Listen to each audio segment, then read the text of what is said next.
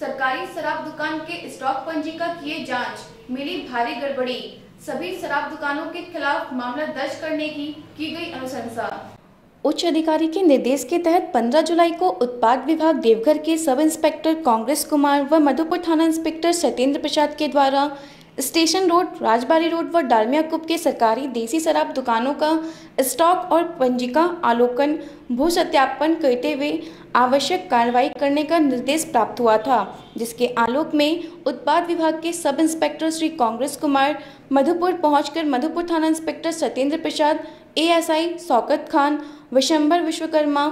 चंदन दुबे समेत पुलिस जवानों और मजिस्ट्रेट की मौजूदगी में शराब दुकानों की जाँच की गई। जाँच में बड़ी गड़बड़ी और गलत पाया गया, जिसमें मधुपुर स्टेशन रोड से राजबाड़ी रोड दुकान में स्टॉक शराब और पंजी से मिलान के बाद सारे गड़बड़ी का खुलासा हुआ।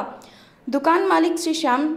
जी प्रसाद, राम नायक प्रसाद, कुर्मीपाड़ा, मिहीजाम, जिला, जामताड़ा, आशीष कुमार, रवि यादव सचिन मोदी, विष्णु यादव, कुंदन कुमार समेत छह लोगों के द्वारा दुकान संचालित कर रहे थे। सभी के द्वारा साजिश के तहत अवैध रूप से बिना दस्तावेज़ सरकारी शराब दुकान खोलकर अवैध रूप से शराब बिक्री कर रहे थे।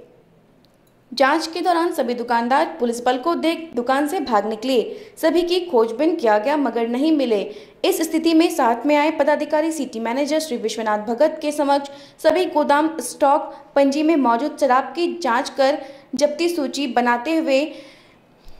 स्टेशन रोड को सील, शराब दुकान स्टेशन रोड को सील बंद किया गया, जिसमें श्यामजी प्रसाद उम्र साठ वर्ष, आशीष कुमार उम्र बत्तीस वर्ष, रवि यादव उम्र तीस वर्ष सचिन मोदी उम्र 40 वर्ष, विष्णु यादव उम्र 38 वर्ष, कुंदन कुमार 26 वर्ष के खिलाफ सुसंगत धाराओं के तहत सरकारी शराब बिना दस्तावेज़ के स्टॉक से